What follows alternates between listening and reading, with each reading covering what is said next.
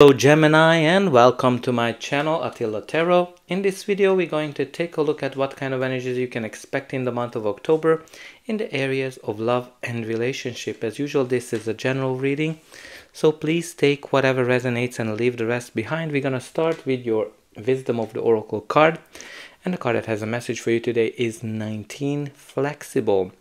So this is uh, the card of obviously flexibility, adaptability, and and and and uh, uh, also adjusting to your current situation. So what this really tells you that uh, this period of time you need to be a little bit more flexible uh, than you usually are. Uh, don't be rigid. Don't be uh, kind of stuck in old ways. but try to adapt to whatever situation comes into your way. some of you might be meeting somebody that might not be your typical type, but you're actually willing to adjust for this person. So, nonetheless, whatever is your situation, it requires some kind of a flexibility. Uh, but let's see what the tarot is telling us. In the center of your reading, you do have the Queen of Wands. Queen of Wands it can be a person, your energy, or just a general energy of the card. This is uh, uh, the Queen that's the most radiant, the most attractive from all of them because she is positive, she is radiant, she knows how to use the law of attraction.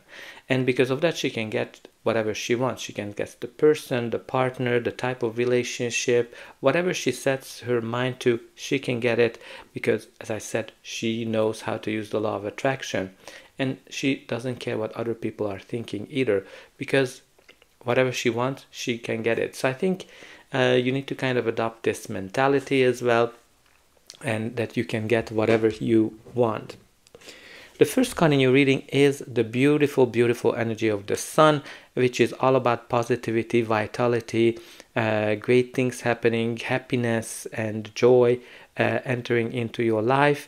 Uh, this can be like you know a happy relationship uh, or a new relationship coming into your life whatever happiness brings to you the sun is is all about that and again um, it's it's also about following the positive mindset as well.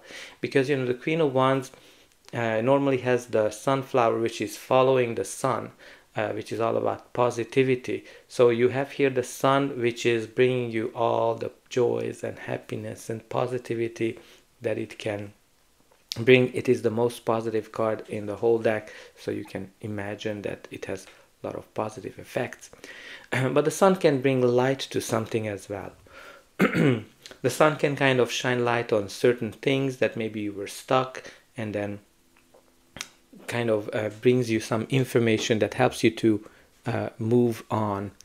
Um, the next card in your reading is the Five of Pentacles. So, Five of Pentacles is the card of lack, the card of feeling um, alone, feeling uh, left out in the cold this is the card that's kind of can be connected to um, being alone uh, being single being single for a while. Some of you might be single parents that have a harder time to uh, connect with people.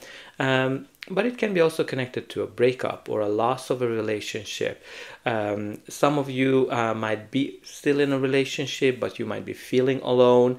Uh, some of you might be in a relationship where your partner might be having some financial challenges, but this card also calls your attention to help.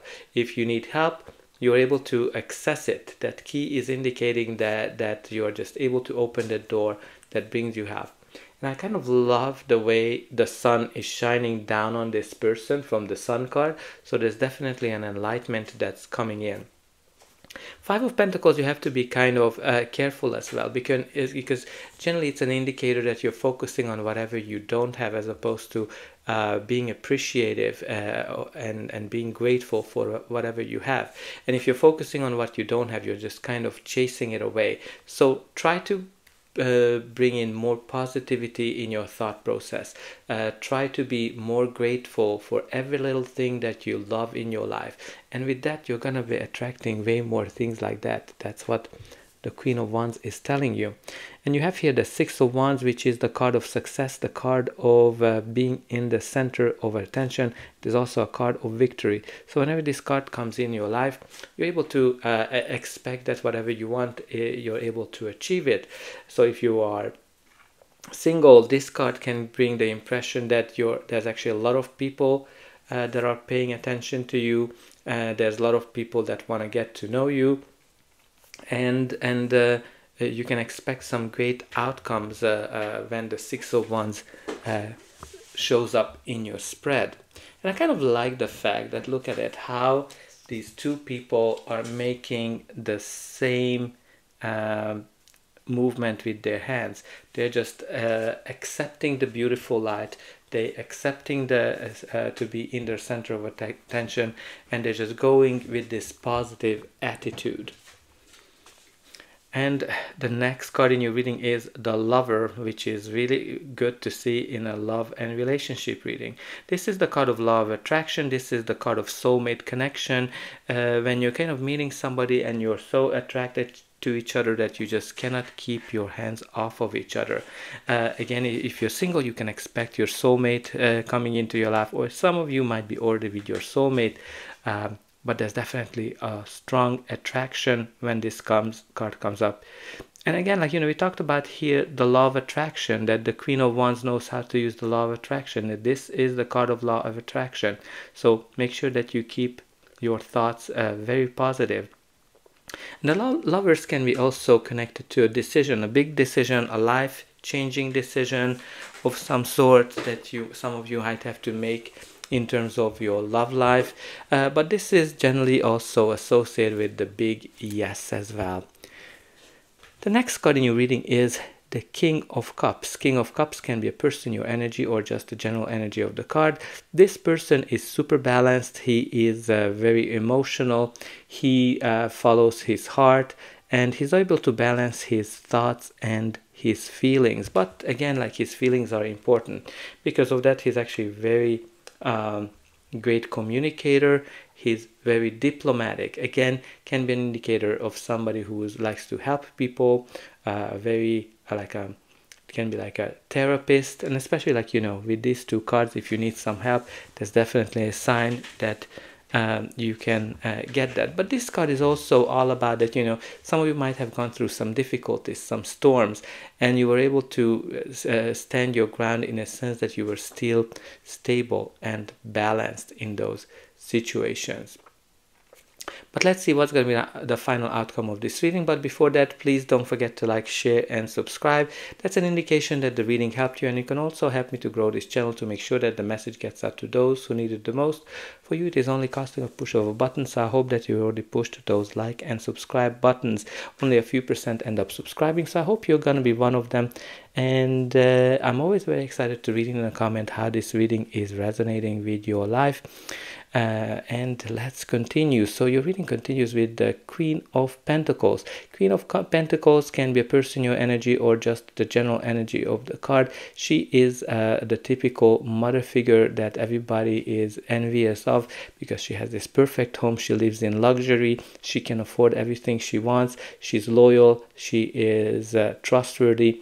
Can be a person uh, that comes into your life or can be uh, the type of relationship that comes into your life, something that's long lasting, something that's reliable. And this is a great connection. I, I, I personally like when the cups and the pentacles energies come together because they they are good uh, balance with each other. One of them is is more of a dreamer, emotional, and the other one is a more realistic one. So they balance each other out. And the next card in your reading is the Two of Pentacles, which is actually very similar to this flexible card because this is all about flexibility, uh, being uh, able to adapt to various situations, balance things, sync things, balancing finances, balancing how much time you're spending with your loved ones uh, and with your uh, work, uh, balancing your feelings, emotions, and being and uh, being very um, resourceful. Uh, this card for me is, again it has the unlimited sign indicating that you have a lot of potentials but I always kind of sense of of like an ups and downs coming with this card. Sometimes when you feel happy sometimes when you're kind of feeling down as well uh, like this kind of roller coaster effect as I like to call it although this card doesn't have it but uh, when you kind of look at the other cards you can kind of see this here that sometimes you're like oh my god i'm like so happy yay everything is great but then other moments you might be uh, feeling under the weather and feeling sad and and uh, depressed. And the next card in your reading, we have two cards that came out, uh, the Devil and the Nine of Swords. So you have kind of like the Devil and the Queen of Pentacles. Maybe some of you are dealing with some uh, Capricorns. Um, but let's see, let's talk about the Devil. So generally the Devil comes out in, in, in our uh, reading when there's some kind of an imbalance in our life. This can be like dependency, being in a dependent relationship, uh, or being something out of balance. Like, for example, if you're single, you might be uh, spending a lot of time um, with um, one night stands that are not uh, emotionally fulfilling. Some of you might be in a relationship that's very dependent in a sense that maybe there's some emotional dependency or dependency from substance substance abuse as well of some sort but any kind of dependency can can come in question with the devil. But the devil always has this um, this kind of side that that keeps get go keeps to get you going back to this person if you are in, in with a person even though you might not you might know that it's not good for you. Um, and then you have the nine of swords which is all about um, being afraid being worried about something something that keeps you up all night and and you have nightmares from it. And and it's interesting that you have these two figures that are kind of in the same position. So there's this again just confirming this ups and downs. And when the devil comes up there's a, a very interesting message that you need to pay attention to the imbalances right? Like these ups and downs. What do you have more? Do you have more of the uh, happiness or more, of the down uh, down uh, uh feelings but also telling you that the decision is actually yours like know, in terms of how much you whether how you are uh, shaping your situation. And you also have here the hanged man. The hanged man, which is all about seeking for enlightenment. Um, can be a, a, an indication that something is stuck in your life, something that, uh, you know, something is not moving forward. Maybe you've been single for a while uh, and, and you have hard, hard time finding a partner. Uh, some of you might be um, stuck in a relationship or in a situation. And and uh, what this card is telling you that you need to see things from a different perspective a different angle or sacrifice something or just surrender to the process itself. But you have here the sun which is bringing you the enlightenment that you need. So I, I don't think that there's a lot to worry for you because the sun is always making things more positive there's definitely more flexibility is required uh, from you this period of time. So that's all I have for you. I hope that this reading helped you and I'll be able to welcome you again.